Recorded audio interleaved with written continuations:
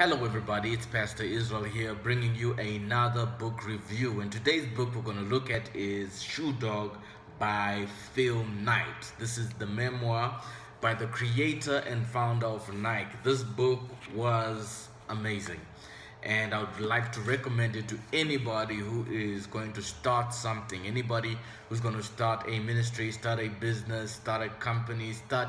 If you're someone who's going to found anything, this book was incredible. And what I really loved most about this book was the way um, it touched me not only on an intellectual level, but it really touched me on a very emotional level. And uh, the writer managed to put together a book that gets you to understand the kind of battles uh, which it takes to start a thing. And when he was starting Nike, um, you see all the trials and tribulations he had to face, everything he had to go through in order to build his company. And one of the things I love about this book is the way it is structured. The majority of this book is not dealing with um, the successful side of Nike. He covers most of this book is dealing with the founding days, the days um, before Nike and how Nike got developed and how Nike faced many scares in terms of um, how it could have died before it even blew up. And this book um, covers the early stages um, and then the final chapter he just talks about um, where he is today. Today he is a billionaire. He's worth 28 billion dollars and he's the 15th richest man in the world. So these are the top five things I learned from this book. Number one, there are three kinds of people. There are three kinds of people in the earth. And uh, the first kind of people are people who are afraid to start a thing. And the second kind of people are people who are weak in terms of halfway after starting a thing, they get hurt by the adversity and they give up halfway. And then the third kind of people are finishers. And this book is really going to document all the pain and all the struggle it took to develop this uh, this brand. So there's three kind of people: those who are afraid to start, those who uh, give up halfway, and then thirdly, those like us who are going to be the finishers. Number two uh, one of the things I learned in this book is the power of travel. The power of travel. Before he went to start this company, straight after college, he went on a trip around the world. Started off in Hawaii, then he went to Japan, and uh, he just spent a lot of time just traveling from nation to nation, nation to nation, just getting exposure.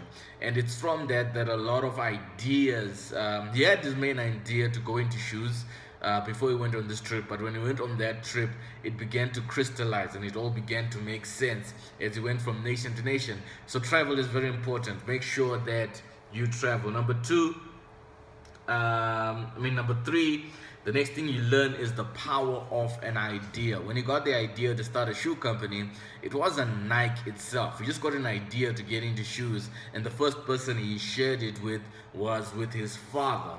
And um, his father is the one who paid for his trip to go around the world. This is after he had uh, graduated from Stanford University.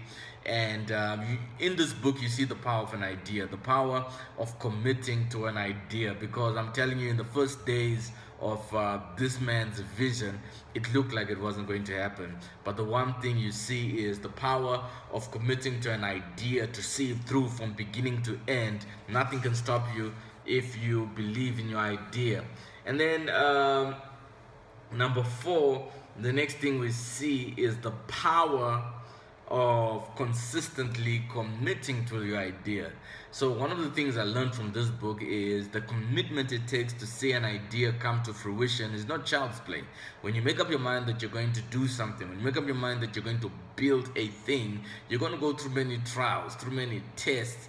Um, this man faced many battles from the beginning of the idea even until the time it manifested, even until the time it began to succeed. One of the comments he says is the more um, the more you succeed, the bigger the target on your back.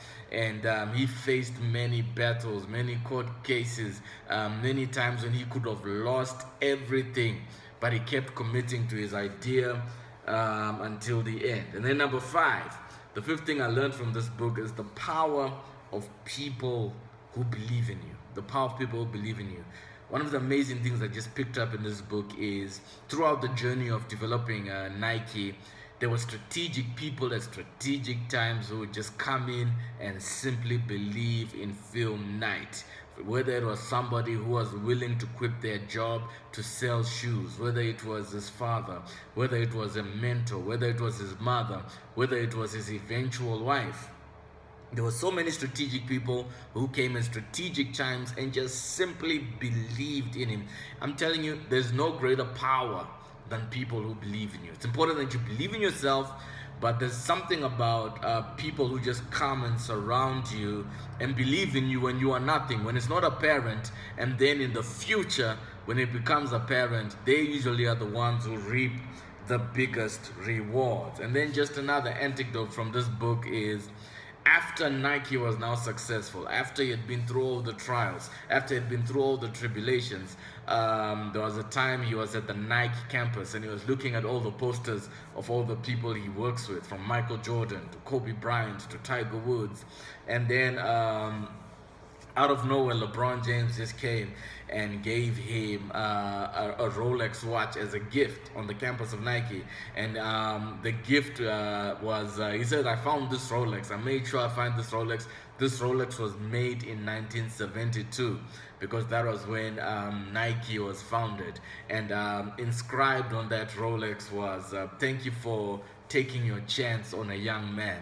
And basically, that present really touched him because he says that in his career, his life was all about people just taking a chance and believing in this young man, taking a chance and believing in something crazy. I would encourage you to get this book.